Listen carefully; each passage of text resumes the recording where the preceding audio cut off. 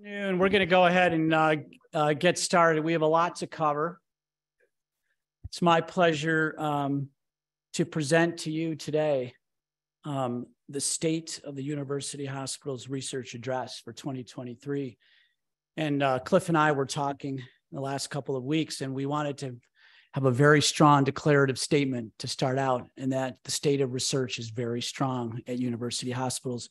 And it's because of all of you. So, congratulations.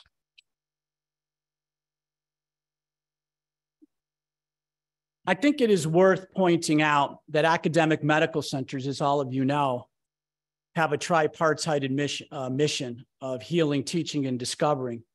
Unfortunately, our present ranking systems focus solely on clinical activities. And it's very nice to see that when you add research and clinical metrics, that UK Brand Finance has ranked university hospitals 25th in the world and 10th in the US. So that's a lot to be proud of. We have a ways to go, but it's very nice to have external validation of our path. We're going to talk today about one component of UH academics, which is research to, to discover um, of our mission. And as many of you know, our vision is advancing the science of health and the art of compassion. So, core to our mission and vision is, in fact, research. In 2016, we embarked on a strategic planning process in which we envision that UH Medical Centers working with key strategic partners, and thank you, uh, Dean Gerson, for joining us uh, today, just walked in, to engage in basic translational, clinical, and population health or health services research to impact our world our driving strategic plan vision statement was a next generation academic health system dedicated to accelerating, accelerating discovery, innovation, and translation of scientific breakthroughs, which address unmet clinical needs and enhance the lives of our patients, our community, and the world. And I hope to be able to convince you at the end of this talk that we are, we are doing that every day. So, why is research important? Most of you are researchers, but we have many who are zooming in who don't understand the core importance of research in our mission. What I like to say, and Yi and I put this slide together, is research is hope. It's hope for patients with no options. It creates competitive advantage by attracting patients with cutting edge care, new drugs, new devices and new cell based therapies. It attracts patients. It's also a margin generator and it's a differentiator. It improves healthcare outcomes by implementing evidence based practices. It attracts healthcare leaders, researchers, innovators, industry partners, and trainees. It produces intellectual property. It drives philanthropy. And most important, it has very strong impact in our biomedical ecosystem. Every dollar that we receive in research or that this institution invests in research creates about $2.6 in output. So it is very, very important for our community. We have a very strong tradition of medical research and breakthroughs, starting all the way back from the founding uh, of this hospital over 150 years ago. And it again, throughout our history, it has been to bring hope to our patients. These are the key metrics for 2022. We have $177.2 million research portfolio. Our goal, our target has been we set a base year of 2019 for Jobs Ohio that you'll hear about of 160 million. We are growing. We are exceeding our 2.5% uh, yearly CAGR um, and we will get to 204 by 2030. I think we're well ahead of schedule. Our total sponsored research expenditures to UH directly from uh, pharma biotech industry and from federal agencies such as PCORI, uh, AHRQ, and HRSA was 88 million. It was up 24%. It is really incredible. And our indirects were up 10%. Invention disclosures up 18%. We're still the number one clinical trial site in Ohio with 3,400 active clinical trials. We have a thousand faculty members, over 1,200 residents, 1,800 medical students come through our doors. Obviously, the greatest number from our main partner, Case Western. And last year, at least if you go into PubMed and you cross everybody that we have on our faculty, uh, over 1,200 uh, peer-reviewed articles.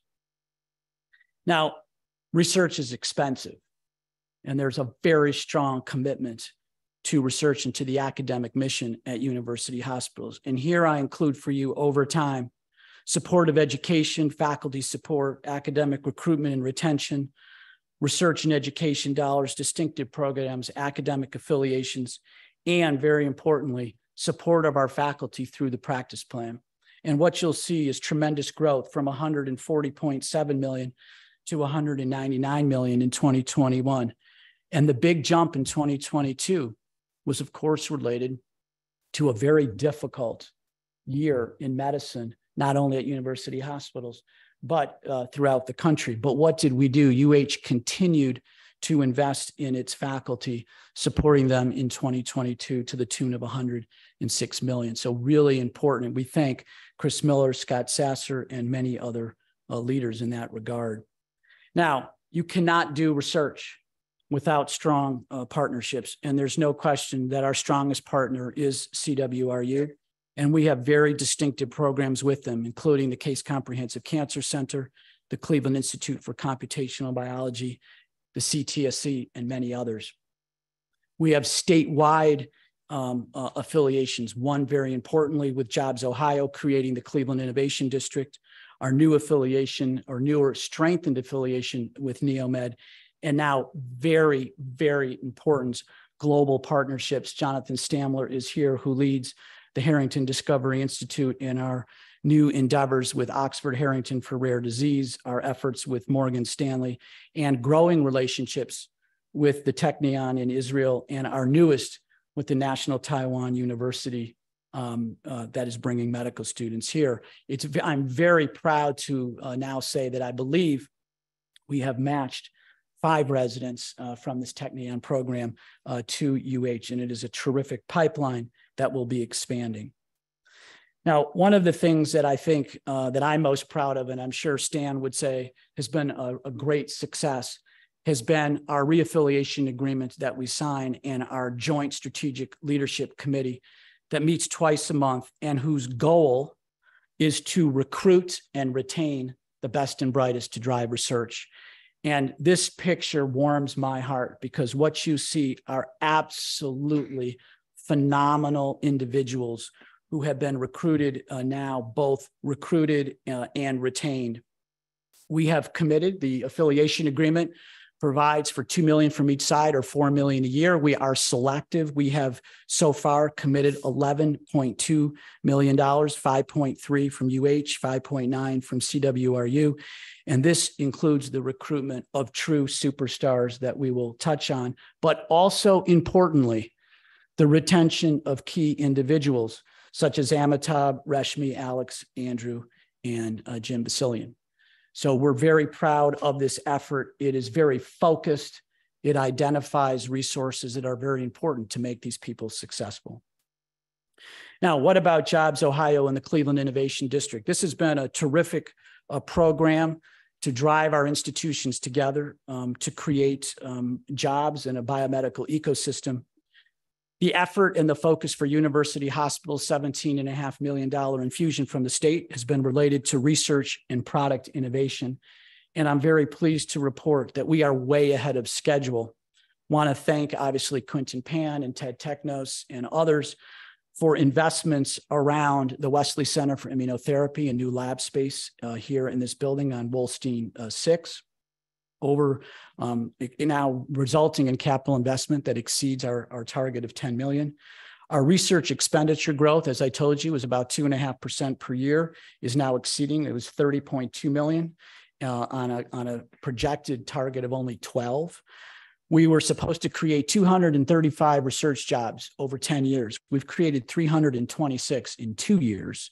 And we very importantly, to show the strength and the commitment of our board to this research mission, the board has invested $30 million in research and drug development, which is very important to drive us forward. We have strengthened our affiliation with Neomed, which is very important uh, for our workforce pipeline in primary care, pharmacy, anesthesia, and in technicians. It provides new opportunities for faculty and career development in collaborative areas, including ed education, innovation, research, faculty division, development and leadership, workforce development, and clinical activities. You see the faces of our UH leaders um, in uh, this work, and we are mirrored by leaders uh, from Neomed who are uh, online watching us uh, today uh, via Zoom. Uh, so thank you for the UH leaders participating in this. Just some key highlights of investment. The Wesley Center for Immunotherapy and Wet Lab expansion was an 8.3 million capital investment expansion of cell therapy uh, facility with three new ISO 7 clean rooms to advance cell therapy, nearly 6,000 square feet in new uh, wet lab research space, of course, office space, um, and a terrific director, Koen Van Besien, who is so committed to growing cell therapy that he texted me just before I started to say, My clinic is so backed up, I'm going to have to watch it on the recorded version. And I said, Koen, you're in the right place. Stay in, stay in clinic.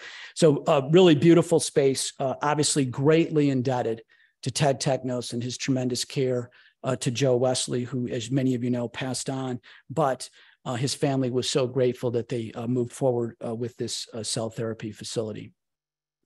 We uh, perform and complete the full spectrum of research, bench, bench to bedside and beyond. And I want to share with you, we're going to go around this flywheel. It's really important.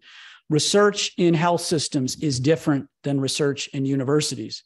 Universities are about grant attainment and impact, H index.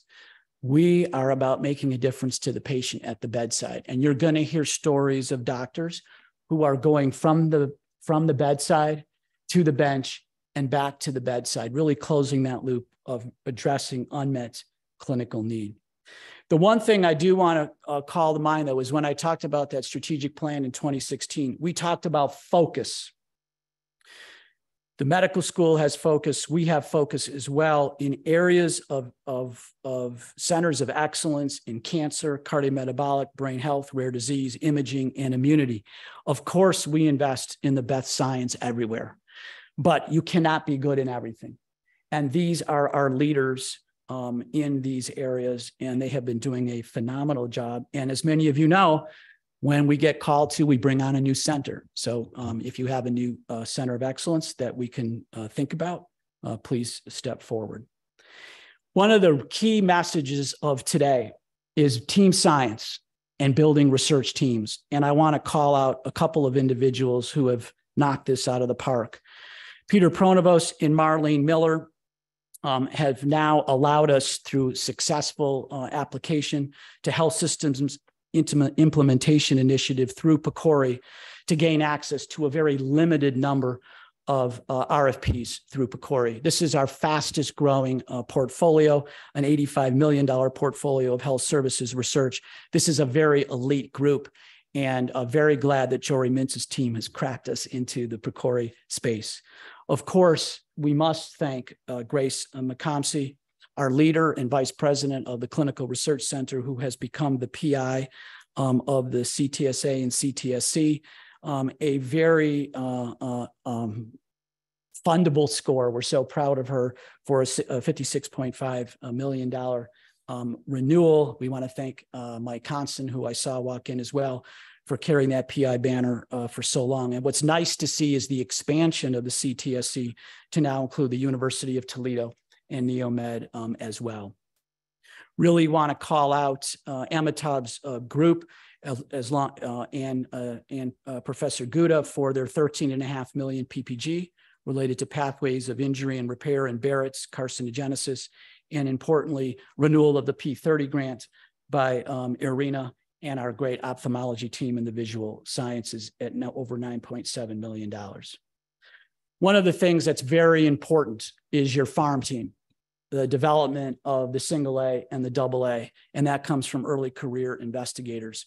We are doubling down on commitment into uh, uh, attracting and recruiting and supporting young investigators. Very pleased that Luke Rothermel, Sherwood McClellan, and Jason Brown are a new crop of K 12 clinical oncology scholars, and you see listed past scholars, and also listing really tremendous support from Stephen Carpenter, Stephanie Ford, and Sherwood McClellan uh, in their areas of uh, focus, as you see here on the slide. We will be measured um, by the young that we bring up and how we can get them from single A up into uh, the majors with with with bifurcated and independent funding, um, and they will uh, undoubtedly succeed.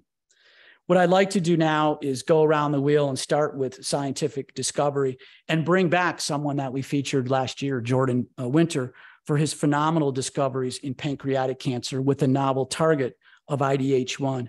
But why we want to bring him back is that notion that um, Jordan was studying this in the mouse but very importantly has now funded a clinical trial from the Gateway Foundation and John and Peggy Garson using this uh, drug targeting IDH1 in actually patients with resectable pancreatic cancer. And you see follow on uh, studies in the tumor microenvironment and immune responses from Professor Wang and also uh, Jordan. Very important going from um, the bench into the clinic with novel therapeutics. Um, Jim Reynolds and Jonathan Stamler are here. This is a very important paper. All of you who went to medical school learned um, about the most studied protein in all of biology, hemoglobin, that it carried two gases. It carried oxygen and it carried CO2. Well, we have two people here who have made a very important discovery that they forgot a third gas uh, which is nitric oxide. And that nitric oxide on hemoglobin in red blood cells is one of the main determinants of tissue, tissue oxygenation. It has turned the field upside down. And we are very lucky um, to see these uh, two people here today. And I would say stay tuned because this is a rapidly prize winning field. So there are going to be many more awards for these two individuals also want to share with you some exciting discoveries from Atul Chopra. Now, Atul texted me about a half hour ago to say he would not be here, and he has the best excuse you possibly can. His wife is in labor, and he is uh, with her. Um, Atul is a superstar that we recruited from Baylor in Texas, who has identified a completely new class of hormones called cautamins he identified that a cleavage fra- fragment of an extracellular matrix protein, a fibronectin called as- asprosin, is very, very important in the regulation of insulin uh, sensitivity, um, obesity, and uh, body uh, habitus and, and, and leanness, and has very important new roles in the, in the central nervous system in thirst, memory, and uh, anxiety, and renal function. In these this molecule was discovered from a clinical observation in clinic with this individual who gave him permission to share this marfanoid progeroid lipodystrophy. This incredible leanness is not normal. And he identified the hormone system that is involved in this. And the most amazing thing this is just one of a whole new class of hormones that Atul has. Atul has antibodies to the receptor uh, for uh, and it is very similar to leptin biology. It will treat obesity and it will treat diabetes. And I wish he was here because we are very, very proud of his achievements. One of the greatest accomplishments um, of the last year has been the absolutely phenomenal growth of our basic imaging research um, under the leadership of Agata Exner and uh, Donna Plecha, of course, $41.6 million in total awards since January of 2021. And um, to see this smiling face of Hollywood Squares is just absolutely incredible. The numbers of grants uh, from NIH, RSNA, cystic fibrosis, UK research is just absolutely breathtaking and it's changing the way that we practice how we diagnose breast cancer, prostate cancer, and CNS uh, tumors. And we are so hopeful that they will continue this amazing uh, work.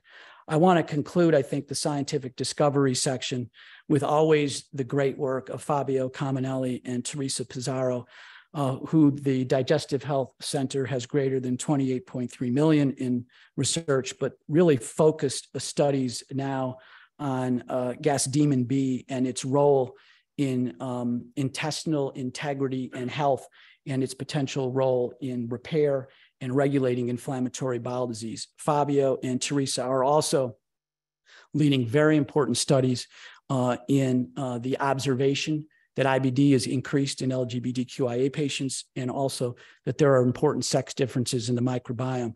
So great work from Fabio and his team, and we look to follow that uh, over time.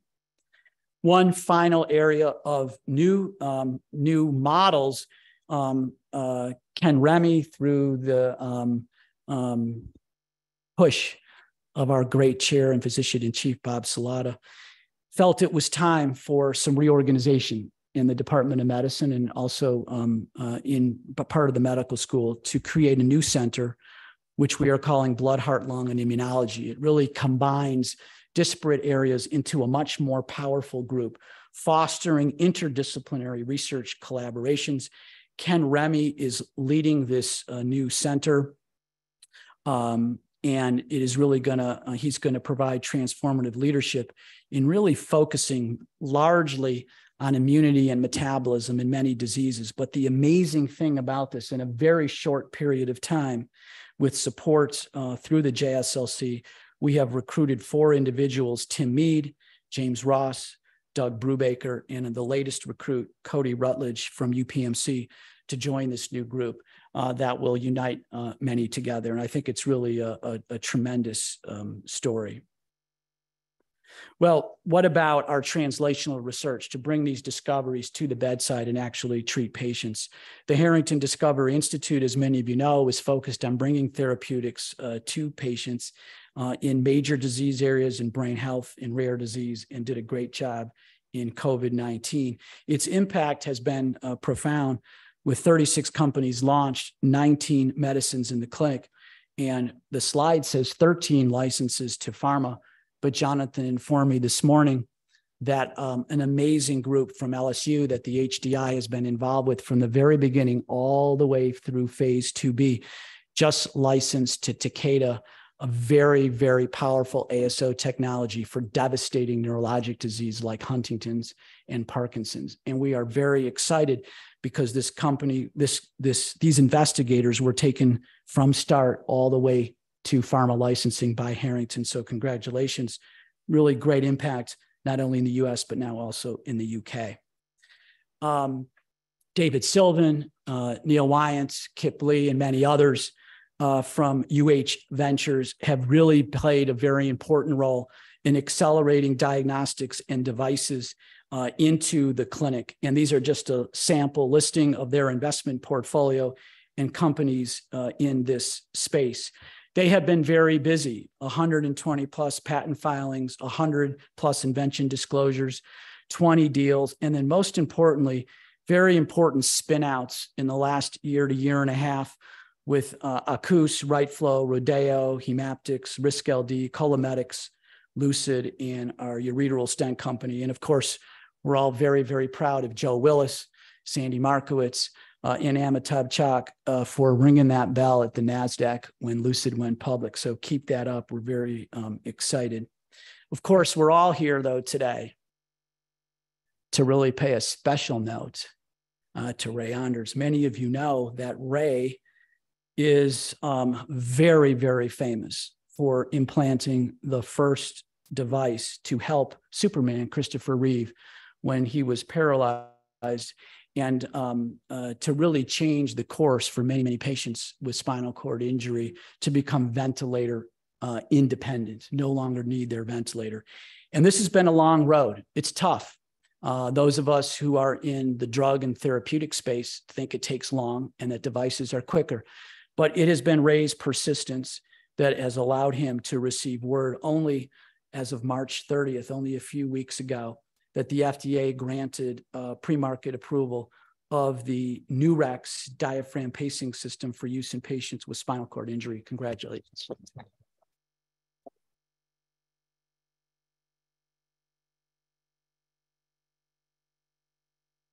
And the stories of these individuals is really amazing. I think you know the two on the left uh, really are very very touching because these were two patients who were able to go to college off a ventilator using this diaphragmatic pacing uh, system.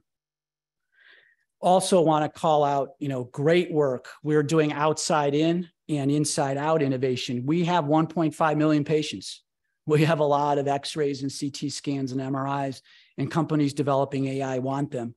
And uh, Leo Bittencourt uh, was recruited uh, by Donna uh, from Brazil to bring amazing skill sets in this area to really advance Radical, which is um, our uh, platform for AI uh, technology. And one of the great outcomes of that was FDA clearance from AZMed of a fraction detection algorithm. And so we're very excited. We understand that AI is complex. Um, it is going to have uh, successes and going to have failures. But we're so glad that Leo is leading us in other activities um, in ACR-AI validation, uh, Carpal AI, Sectra, and many other programs. So congratulations to that group. Now, clinical research is obviously extremely important because it's where these discoveries of basic and translational science hit the patients. And I can't think of a slide that is a greater testament to the power of recruitment and identifying superstars to change the course of a department and a program. Dan Spratt needs to be congratulated. He is um, a rock star from U of M who has a mission to create the number one radon department in the country at UH. And he has gone a long way in only 16 months of recruiting almost 25 faculty. It's hard for me to keep up with all the interviews that come through my office, but to show you the impact of these amazing individuals, and I don't list the current members of the department, but I also I'm listing the new recruits and the institutions that they come from and the grant funding that they are bringing with them and the productivity of 127 papers nearly $8 million in grant funding over the next three to five years and you see the listing of grant support that has come to us from other institutions it's really important and it's really i think also associated with importantly an increase in clinical trial accrual over prior years, as you see here. So congratulations to this amazing group. And we look forward to reporting on um, positive growth even over this in uh, the future. Elie Saade um, uh, is one of our uh, COVID heroes, and he received a $12.5 million grant from the CDC with a potential add-on of over another 8 million uh, to really look at vaccine effectiveness and disparities and has uh, um, seven reporting sites and one coordinating site that you see here. And this is really, really uh, important because it begins to address something that's very important uh, to us, which is addressing disparities and inequities and looking at social determinants of health uh, in this space. Also want to uh, congratulate Rose uh, Gubitosi-Klug. Many of you know that UH was the center um, of the diabetes control and complications trial. Many investigators have participated over this for many, many years. Um, Rose was awarded $7 million uh, to UH and CWRU as uh, um, ongoing funding to keep the longest running trial uh, collecting uh, data. This has been over 40 years. It's really remarkable. And it's really changed the way that we approach how tight diabetes control prevents complications. We know that now. We it's accepted. It was not known when this trial started many years ago, and it's so glad that Rose is continuing this work. Grace, of course, leads not only the CTSC but also very, very important efforts related to uh, long COVID and recover. We are one of only 15 uh, sites in in the U.S. Um, obviously, uh, this um, award from NIH is to CWRU as well. UH was um, the, the first patient was in, was enrolled here, which is really uh, terrific. Enrollment here has been in the top one or two in the country. And because of our incredible enrollment in underrepresented minorities, um, we were asked to enroll an additional 300 patients and receive a substantial increase um, uh, in payment. The other thing, which is really great, which is it's not enough to do biorepository and collect natural history data. You want to intervene. You want to do randomized trials in this space. And it's really great that um, um, Grace is the chair of the intervention committee. So we're bringing these trials here. And I don't know how she does all of this. Um, she must be superwoman because she did a renewal of the CTSC and is leading Recover and our uh, Center for Clinical Research all at once. So thank you, Grace. Um, I think you you work 18 to 20 hours a day. Also, um, want to call out another great uh, bench to bedside story from uh, Alex and John and the Angie Fowler um, Center for uh, Adolescent and Young Adult Cancer. An incredible story of bench to bedside related uh, to um, osteosarcoma, a really, really tough disease. And um, they have um, really made fundamental observations, taken this now into the clinic. And it's really great to see um, how this has taken place through very strong academic and industry partnerships. And we look forward uh, to hearing about the results of Vactosertib in osteosarcoma.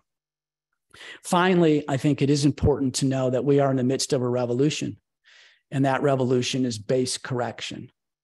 So those patients who have single sickle cell disease have a single mutation, and their life is forever changed by having uh, sickle cell disease. Uh, early, unfortunately, early mortality, pain, crises, frequent hospitalizations, uh, physical, behavioral, many, many issues and very pleased that under the leadership of Dr. Dallas and uh, Dr. Delai, that uh, we are just one of 16 uh, centers right now that are providing a base correction for sickle cell disease with gene editing.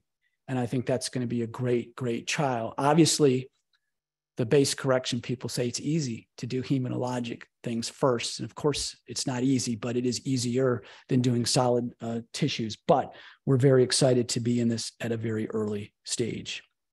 Uh, finally, because I saw James walk in, um, we do have to talk about something that is very, very exciting. And it, it represents an incredible advertisement for the power of the National Center for Regenerative Medicine that Stan built along with the incredible discoveries of Arnie Caplan, who discovered the MSC here, to have the only approved FDA study allowing for the use of pure stem cell injections for knee arthritis. So this is autologous MSCs uh, into um, a patient for arthritis. And James was kind enough to share a um, pre injection and post injection at one year MRI. And if you look on the left, okay, this is a cardiologist interpreting this, so beware um, I think you see that um, cartilage is less uh, abundant and less continuous than the more um, uh, abundant cartilage in 2023. So early results,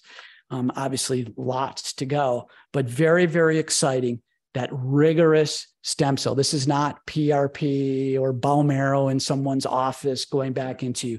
These are MSCs that are purified, expanded, and then re-injected really, really exciting. And uh, we can't wait to hear uh, the final results. Now, what do you hope for? Well, growing up in Boston and um, actually walking by the editorial offices of the New England Journal, everybody's dream was to have a first author paper in New England Journal. And I think it still is for many of us who didn't get to walk by that office. And it was amazing that in one month, there were two first author New England Journal papers from university hospitals. And the first is from Amrou Sarraj, as you see pictured here, who published an international trial establishing that thrombectomy for large strokes was better than clot busting drugs and other medical therapies. And this trial will revolutionize how we treat stroke. And most importantly, and very um, positive for UH, is that Amrou has been banging down the doors to do a follow on study extending the time window for thrombectomy. And he will be, um, UH will be the leading coordinating site for uh, 30 sites uh, around the world and in the US. So stay tuned, but we are so proud of uh, Dr. Sarraj, who leads our stroke service. Of course, the second one um, is also uh, equally impactful and that relates to the work of Mehdi Shishehbor and others, our president of the Harrington Heart and Vascular Institute, who use transcatheter arterialization of deep veins in chronic limb threatening ischemia. So many of you know that uh, amputation is a big problem in the US. Your mortality following amputation in that coming year is over 25%. limb loss changes your whole life. And we have had no therapies for limb loss until this first author paper, in which um, uh, these investigators were able to show that transcatheter arterialization of deep vein is safe and be, could, could be successfully performed to reduce amputation. These patients were scheduled for amputation and limbs were saved. And an incredible story that uh, perhaps we can share with many uh, when we have uh, cocktails uh, at five is a patient saw the press release. I was telling Mike Tobin, a patient saw this press release last week. It was scheduled for amputation in Kentucky and said, I'm not going to have my leg amputated until I go to Cleveland for Dr. Shishehbor. Dr. Shishehbor did a procedure on him on Tuesday and the limb was saved. So congratulations, Mehdi. And to that patient,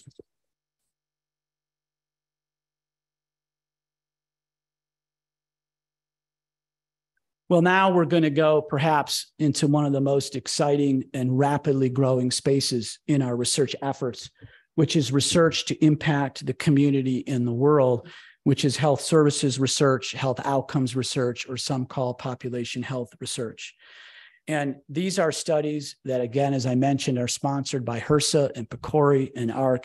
And the first one is from Gautam Rao, a $4 million grant over four years to create a center to improve clinical diagnosis.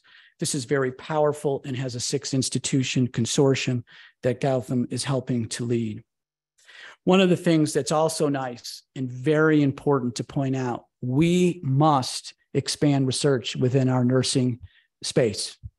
It's very important to have strong nurses doing research. And I want to uh, compliment and congratulate Julia Blanchette, who is a, a research nurse working uh, in um, uh, Betul Hatipoglu's Obesity and Diabetes Center space, who has developed a type 1 diabetes financial toolkit for um, adults with uh, type 1 diabetes. It's really to develop and disseminate a financial and health insurance literacy, literacy micro video toolkit series with a community advisory board for adults with type 1 diabetes. This is going to change the way that we approach and treat diabetes, which is very difficult and very expensive now with a lot of monitoring devices and insulin pumps. And we're so glad that uh, she has received a $2.25 million grant from the Helmsley Charitable Trust to study this over the next uh, three years.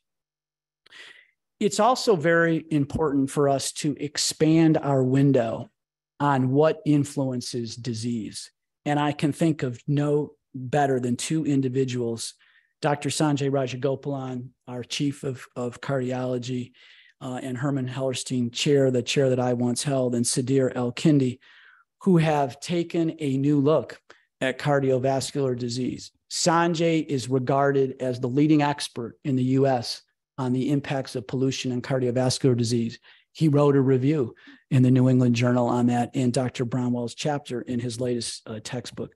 They are incorporating over 156 variables. We'll start with this over 155 social and environmental variables to really gain insights into the pathogenesis of cardiovascular disease. And I want to share with you because it's incredibly powerful. It's, it's the power of, um, in some regards, uh, machine learning and um, and and AI to look at many many variables that are collected by large data sets around the country. And as you can see here in this map of Northeast Ohio, you can identify three population clusters that have differential CV risk. Cluster one that you see uh, located um, has high pollution, high social, high social vulnerability and low green space. It has a 61% increase in of, MI and a 28% increase in heart failure. Cluster two, very interesting neighborhoods in cluster two, has high ozone, low pollution, and otherwise, and very low health insurance, and has an 88% increase in stroke. And then, as we know, and, and very problematic, uh, good for those who live in cluster three. Cluster three, as Yi and I were talking, is Solon, and other surrounding suburbs that has low air pollution burden, high health insurance, high green space, and low social vulnerability, and has a much lower risk of cardiovascular disease. And this is independent, independent of calcium score and all traditional risk factors. So we're really working now and focusing on 2.5 micron pollution, deforestation, increased temperature, inability to exercise as part of an $18.5 million grant looking at social determinants of cardiovascular disease. It's really phenomenal, phenomenal work. Well, I love this picture of Francoise and Jeff because you can see how happy they are um, about the amazing work that they're doing in the whole health research space. A $3.15 million grant from the Prentiss Foundation to do some miraculous things. And I think nothing warms your heart more than to see this study from Sam Rogers and David Miller related to the benefits of massage therapy in children, providing uh, clinical benefit, ameliorating pain, stress, and anxiety in children's and teens and young adults with cancers and blood disorders. This is one of the very, very few whole health programs in a pediatric hospital, which is showing that the reductions in anxiety and pain that take away the need for narcotics and opi- opioids is real. It's very real, and we're so proud of their work and hope that they will con- continue it. Well, finally, to uh, conclude in this space is our new Center for Health Services Research. This is a joint effort uh, with uh, the School of Medicine. Um, Stan and I are very, very proud of being able to uh, try to expand efforts related to health equity, population and community health, methodologic excellence, primary and chronic care delivery, patient and family experience, um, and as well as training and education. This is really important because this is the fastest growing portfolio of, of, of grants and attainment and money that we have right now. When we started the idea of a strategic plan in the health services space, when Manatt Consulting came, we had a $25 million portfolio. That portfolio 16 months later is now 85 million. And the money that is available in PCORI, AHRQ, um, and HRSA is amazing. And it was spurred on, obviously, by the pandemic and by the fact that we're facing bankruptcy of Medicare and we need to be smarter. We need to practice with value, and those funds are available to investigate that. We are presently searching for a national director, and Marlene Miller led that strategic planning process and is leading that search. And we're very hopeful that uh, that will conclude soon. Well, what's this all about for our faculty? It's all of you that do this research. And of course, we're very proud of you that 52 were uh, promoted in uh, last year and were celebrated uh, together. And I think that George's comments at that, it's very nice. We invite people who are promoted to speak um, about what promotion means. And I think George hit the nail on the head. George is, I think, perhaps um, the bit one of the busiest um, surgeons in the entire health system, and certainly in orthopedics as an orthopedic trauma surgeon and he wrote he he said and we we write down from his talk academic medicine is not self-promoting and rising to the top. Academic medicine is about lifelong learning discovery innovation excellence in patient care collaboration and investing in the future. It's really he really hit it on the head. And i think one of the things that we learn by having these individuals speak is how inspiring it is to hear them how they've been driven because it isn't easy to get promoted and it's really great to celebrate them and hear about them. And these are all of the faculty uh, who were promoted. Now, some special recognitions for some special prizes. Uh, Rao for being appointed to the U.S. Prevention Service Task Force. This is a tremendous honor. It's one of the highest honors in identifying what we do as physicians in hospitals. Is it actually beneficial to patients? So, congratulations, Gautam. David Wald and uh, Henry Boom were elected into the most prestigious um, physician scientist societies, uh, David into the ASCI uh, and Henry uh, into the AAP.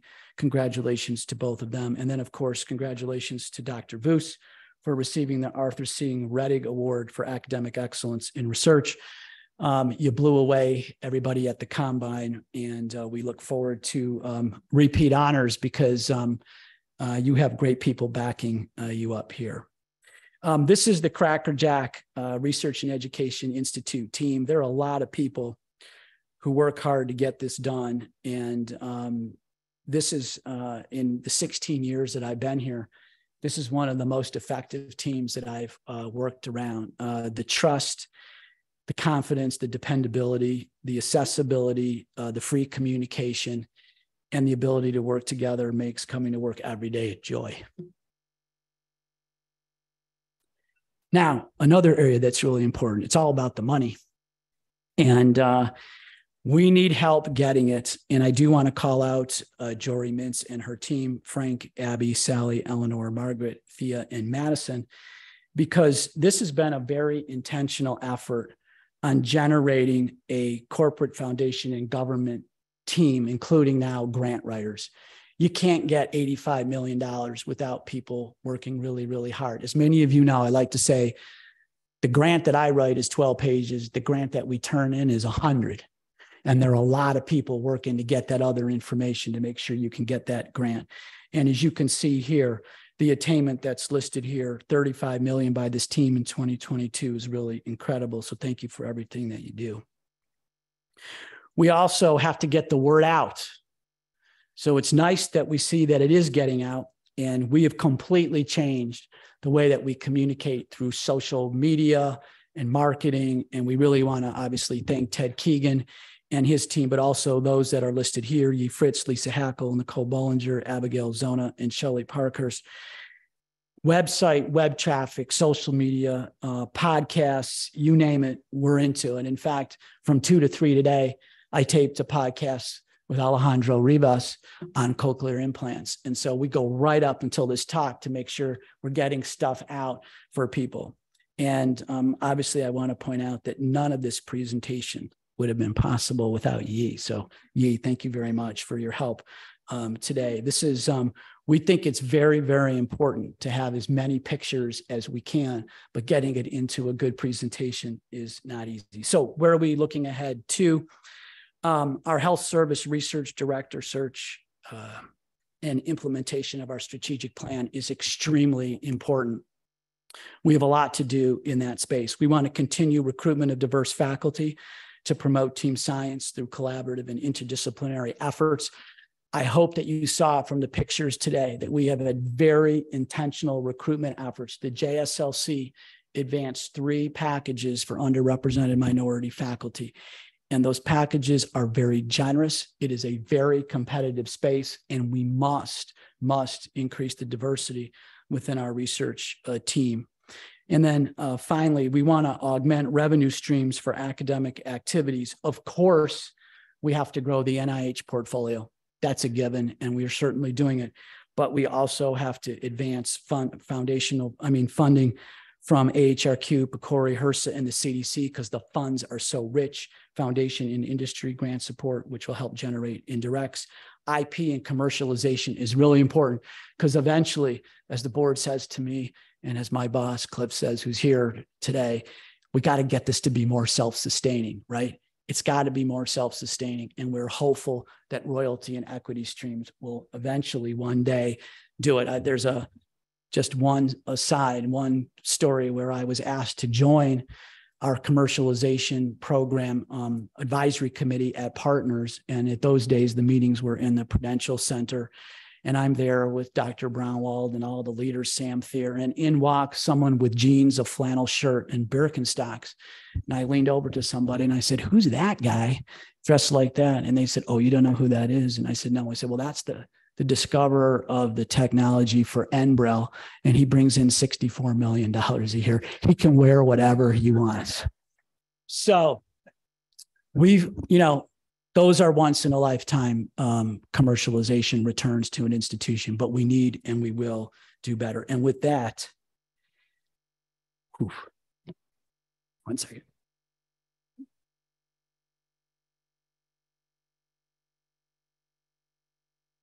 Um, it takes a team.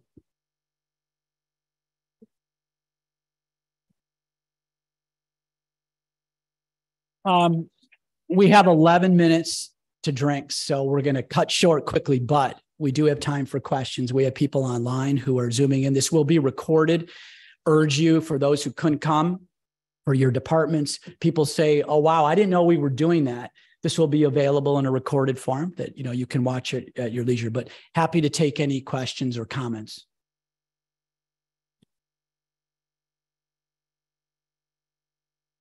Okay, well then let's get to drink.